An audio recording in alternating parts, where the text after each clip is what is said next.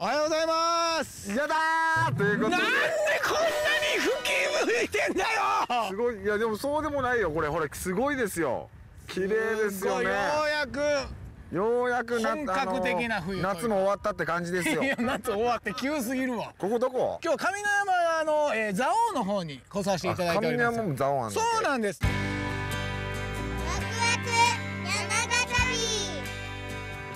上山市は上山温泉で知られる温泉の町。そして果樹園が多くワインの里としても知られています。今回のテーマはですね、絶景と美酒に酔いしれるということでございまして今回はね、うん。自然が作り出す冬のあの絶景樹氷それを見に行こうということと、上野山のブドウを使った上質のワインに酔いしれて心を満たそうということでございます。こちら案内していただきます。大場さんです。お願いしますこんにちは。こんにちは。ザオライザの大場です。大場さん今日よろしくお願いしお願ますいし大ます。場さん VR やってるんですか今？違います。急にこうやってやって VR です。やってないです。ゴゴーグルだ。はい。うん。こちらスキー場ですけどもどういった施設なんですか、標高が、えー上が1446メートル、うん。あと下の方が1000トンで60メートルのはい。位置にありまして、はい。上級者から初級者まで楽しめる、オールマイティーなスキー場になってます、えー。中級の俺無理やんほんないや中級いけるやん。初級から上級やから。あ入ってる間入ってますから。なるほどはい。ねさあ今回は棒平の方にあります樹氷原の方を紹介していただけるということなんですけども、はいそうです。樹氷原というのはどうやって行くんですか？一番最初ここのリフト乗って、はい。2つ乗って行きます。さあ上に行くと気温って違うんですか、今日は、はいマイナス8度。じゃあ例えばね、はい。ちょっとまあ樹氷見に行こうって軽い気持ちで来て、はい、そういった場合ははい。レンタルショップもありますので、はい。えースキーウェアとか準備してますから借りれるあの帽子手袋ゴーグルはありませんからはあそれはあ。のご持参いただいてなるほど、じゃあ行きましょうか、はい。はい。ね。いいんですか？行って。ごめんなさい。え？バギーが登れなくなっちゃって。え？ーごめんバギーで登るんですか？行く時はリフトで行けます、はいはい上がりはね。帰りは危険性があるので、乗ってこれないんです。バギーでお迎えに行く。っていう、あのーツアーになっております、うん。バギー紹介してくださいよバギーあるでしょ？見見て見見たい？はい。見たい？はい。こちらです。これやろうな。三角やタイヤ。すげえじゃあ後ろでいいね乗せてくださいよ一回。あ大丈夫ですよ。ちょっと走る感じで。いいですか？大丈夫です。あ嬉しい、えよいしょ。さあいざ出発！ー誰が運転すんねん？何してんねん？すいませんすいません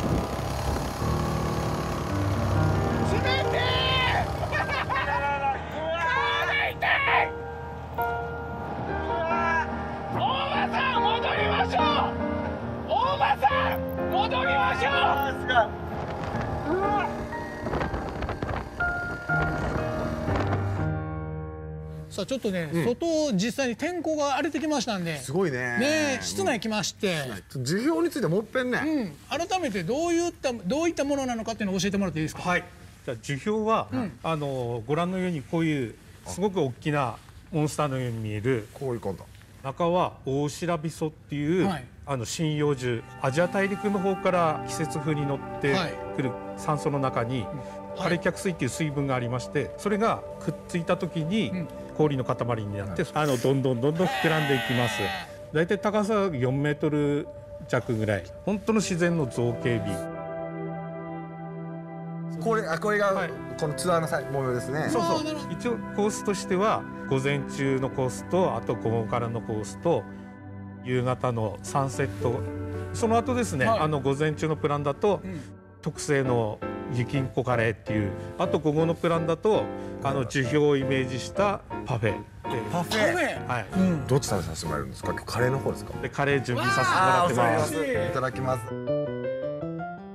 これが雪んこカレー。ご飯のところが蔵王のお釜の五色岳っていうところ。ちょうどここがあのお釜の湖のところ。丸いところですね、カレーあるところ。そう。冬は凍って雪が積もってなるほど、なるほど。白くなってます。その中にモッツァレラチーズでお釜近くに行くとモコモコありましたありましたよね。ポコしてるやつ。ええ。それを雪んこ。だから雪んこカレー。そうなんです。いただきます。スパイスの効いた美味しいカレーです。うんどう？あカレーですねでしょ？うんシチューじゃない？中じゃない、うん。いただきます。あ美味しい。後からじわーんとくるわ、カレーねあのいろんなスパイスの配合で、あの白くして、はい、モッツァレラがまた面白いね。美味しい。風味がすごい一気に上がる。今日さうん今んとこあのテーマからだいぶずれてきてるわけですよ。ずずれてはないですけどそこまで。絶景行ったふりできるタレント選手権せんから。ああだからもう行ってきましたねってあの思い出を語るような。そう。まずそのえっと平原に降りて大きいえーアイスモンスターを見た時のちょっと水口一言。一発目。一発目。いや着きましたね。ああいや結構かかりましたね思ったね。な6時間ぐらいかかんねんなちょっと待ってこんな大きいの？いいんじゃないですか？ありありがとうございます。じゃあ本間さん。じゃあそれに続く俺のコメント。わかりました。はい。いやこんな大きいの？えお前がちっちゃいだけやないか。えいや阪神・巨人さんやないねん。いやちゃうわ大場さん込みで。もうおばさん込みでね。い。いですか？行きましょう。はい。じゃあリフトお疲れ様でしありがとうございた。ますどうですかこの絶景。うわすごい。えこれ全部ですか？全部樹氷です。ええ綺麗やな。こんな数俺持ってなかったわ。俺もちょっと思ってるのと全然思ってなかったこれは。いやこんなんも一緒やないか。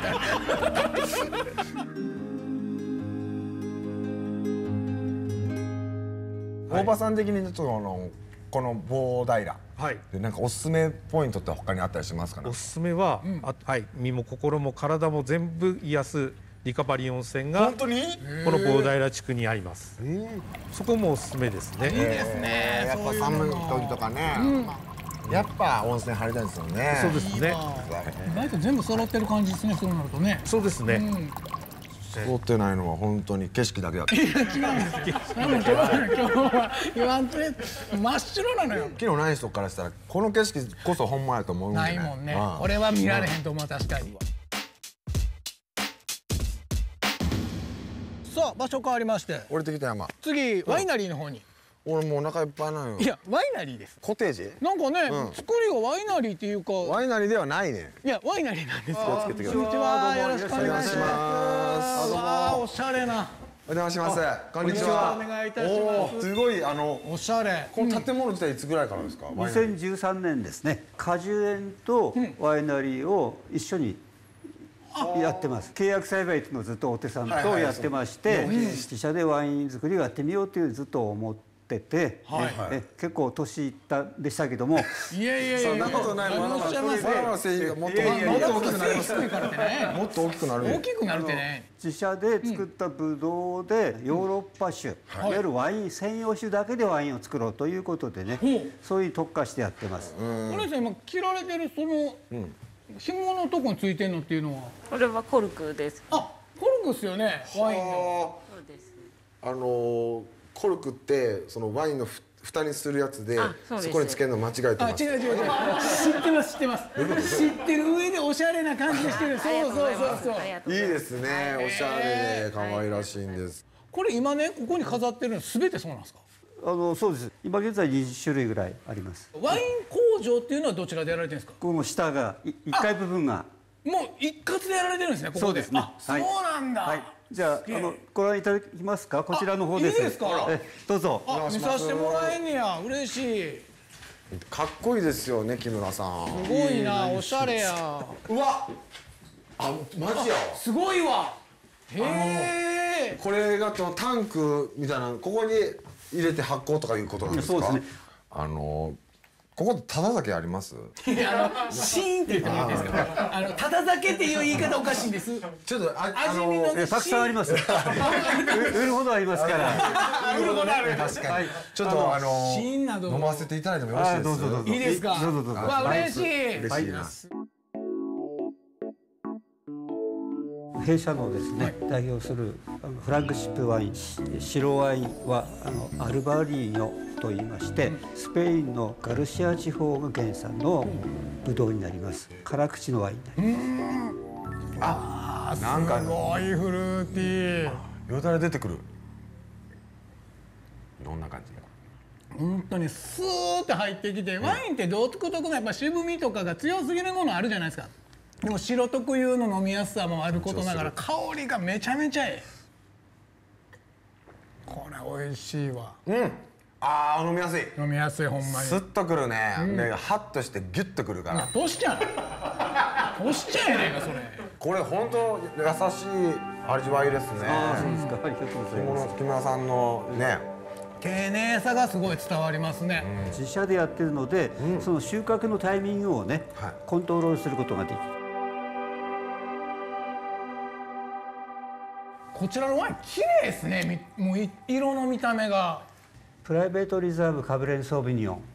2020といいましてフランスボルドー地方で作られている赤ワインの原料、まあ、カブレン・ソービニオンですね、これもまあ辛口ですね。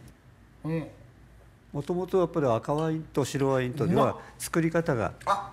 もとも違うんですね。樽の香りここにポンとくる。あそうですか。樽がポンとここに入ってくる。これでも赤にしては全然雑味ないですね。僕だからお酒あんま弱弱いっていうか、あの弱いんですよね、はい。喧嘩も弱いんですよ。あ。麻雀もダメいやそれいらいらいら弱いシリーズずらー並べんねんよ。これでも日本人の口にはすごい合いますよね。あそうですワインに対する探求心っていうのはまだついえない感じですか？いやまだまだ始まったばっかりですね。あいいですね。キッズリターンかってお前。まだ始まってもねえよと。最高じゃないか。もう俺すげえな。もうパワーをやっいぱり。や素晴らしい。尊敬するわ、うん山形に足を運んでいただいて、実際に畑を見ていただいたりとかそういう機会をねどんどん作っていきたいということ。でそのためにねちょうどこのワイナリーの裏に宿泊体験施設っていうのを作りましてこれ泊まれるんですか？そうです。まあ一種の農泊ですね。夜だけでそのワインをね皆さんに飲んでいただく。ってまあ自分でたちで料理してワインを一緒にこうマリアージュしてもらう。なるほどなるほど。フランスどこどこ地方のダーっていうブドウ畑で作ってるじゃなくて、個々が持ってるもんでやりだしてる感じがすごいするんですよ、はあはそれが自然発生的な産業の起こりとして面白いと思うんですよね、娘さんね、ここ、はい。ここで言うと、ん。あのお父さんのいいとこと悪いとこを聞きたいなと思いましたね。俺僕本当にね聞いててすげえパワフルやなと思ってあの褒めてる時にはい「いやいや」みたいな顔してる まずあのお褒めいただいてすぎすごいなと思われるとこお父ちゃんのどこがありますか、前しか見ないっていうね。素晴らしいなるほど。本当にね、あのそういうことですよね。ちょっとずつ盲信型の、ね。ねダメなところは、ダメなところですか、まあそまあそうですね。前しか見てないところ。よくよくも悪くも前しか見てねえとでもそれぐらい吹っ切らないといけないのかもしれない、まあね物事何か始めようと思ったらそれぐらいのね力強さがいるんでしょう。そうですよね東北最大級のスノーリゾート蔵王温泉スキー場では小学生以下を対象に1日券が1000円のスキー子どもの日を設定しています。詳しくはホームページをご覧ください